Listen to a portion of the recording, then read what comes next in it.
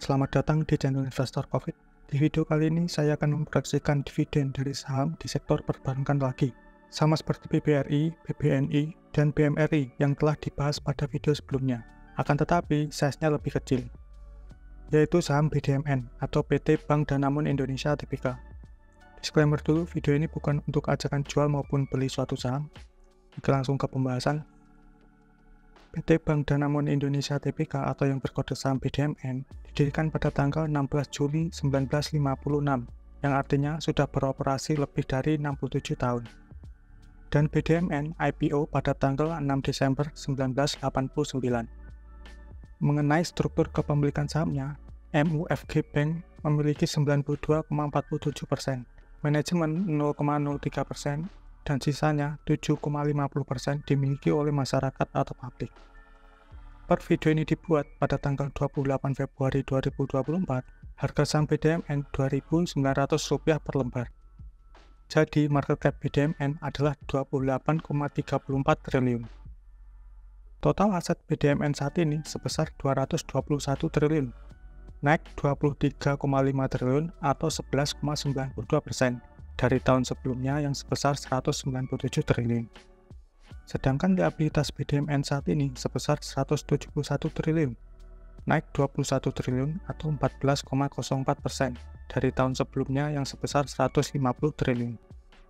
Sementara itu, ekuitas BDMN saat ini sebesar 49,2 triliun, naik 2,3 triliun atau 5,11 persen dari tahun sebelumnya yang sebesar 46,8 triliun. Kemudian pendapatan dan laba BDMN. Pada laporan keuangannya, BDMN memiliki tiga pos pendapatan.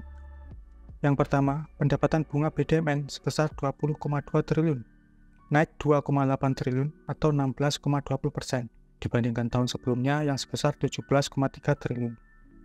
Kedua, pendapatan operasional lainnya BDMN sebesar 4,2 triliun, naik 329 miliar atau 8,39 persen dibandingkan tahun sebelumnya yang sebesar 3,9 triliun. Ketiga, pendapatan bukan operasional BDMN sebesar 116 miliar, naik 52,5 miliar atau 82,15 persen dibandingkan tahun sebelumnya yang sebesar 63,9 miliar. Jika dijumlahkan ketiga pendapatan tersebut, maka totalnya sebesar 24,5 triliun, naik 3,1 triliun atau 14,96 persen dibandingkan tahun sebelumnya yang sebesar 21,3 triliun. Sedangkan laba BDMN kuartal 4 2023 ini sebesar 3,5 triliun. Laba ini naik 201 miliar atau 6,10 persen bandingkan tahun sebelumnya yang sebesar 3,3 triliun. Pada annual reportnya, BDMN tidak memiliki kebijakan untuk membagikan beberapa persen dari laba bersih untuk dividen. Besaran dividen dibahas dan disetujui dalam RUPST Dapat dilihat pada layar, BDMN rutin membagikan dividen satu kali setiap tahunnya. Dalam tiga tahun terakhir, BDMN membagikan dividen dengan dividen payout ratio 35% pada tahun buku 2020 sampai 2022. Untuk tahun buku 2019 alias 4 tahun sebelumnya, BDMN membagikan dividen dengan dividen payout ratio 45%. Dan untuk jadwal pembagian dividennya dalam dua tahun terakhir adalah ex-date awal atau pertengahan bulan April dan payment date akhir bulan April atau awal bulan Mei telah disetujui dalam RUPST. Jadi, mari kita hitung dividen BDMN berdasarkan data yang telah disebutkan sebelumnya, yakni dengan dividen payout ratio 35%. Dikarenakan dalam tiga tahun terakhir secara berturut-turut, BDMN membagikan dividen dengan dividen payout ratio 35% dari laba bersih. Dan laba bersih tahun 2023 ini lebih besar dibandingkan tahun-tahun sebelumnya, jadi, masuk akal jika BDMN bisa memberikan dividen dengan dividen payout ratio yang sama dengan tahun sebelumnya.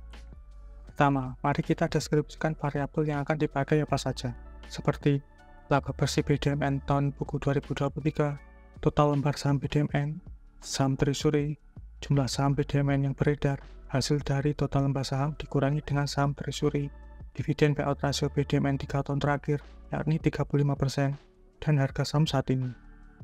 Oke, mari kita hitung. Pertama, berapa laba yang akan dibagikan BDMN? Rumusnya adalah total laba bersih BDMN 2023 kalikan dengan dividen payout ratio BDMN. Jadi perhitungannya 3,5 triliun dikalikan dengan 35%. Hasilnya adalah 1,22 triliun, laba yang akan dibagikan BDMN. Selanjutnya, berapa DPS atau dividen besar BDMN? Rumusnya adalah laba yang akan dibagikan tadi dibagi dengan jumlah saham yang beredar. Jadi perhitungannya 1,22 triliun dibagi dengan 9,77 miliar.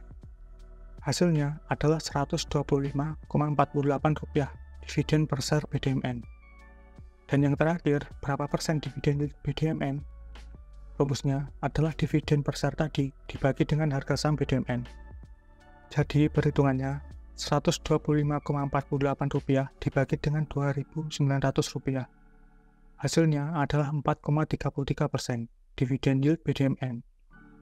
Jadi dapat disimpulkan nih, dividen BDMN berdasarkan hasil perhitungan tadi adalah Rp125,48 per lembar dengan dividen yield 4,33% di harga sekarang yang di Rp2.900. Bila kalian ada yang punya saham BDMN, hitung dividen yield kalian dengan rumus yang terakhir tadi, yakni Rp125,48 bagi dengan harga rata-rata saham BDMN kalian dan tulis hasil dividen yield kalian di kolom komentar. Oh iya, BDMN akan melaksanakan RUPST pada tanggal 22 Maret 2024. Jadi, mari kita tunggu besaran pasti dari dividen yang akan dibagikan setelah disetujui pada RUPST nanti. Oke, bagaimana menurut kalian mengenai proyeksi dividen BDMN tadi? Apakah ngaco atau ada kemungkinan benarnya? Silahkan tulis pendapat kalian di kolom komentar. Mungkin sekian dan terima kasih telah mengikuti pembahasan mengenai proyeksi dividen BDMN atau PT Bank Danamon Indonesia Tbk. Semoga menambah insight atau wawasan baru mengenai saham ini. Sampai jumpa lagi di video berikutnya.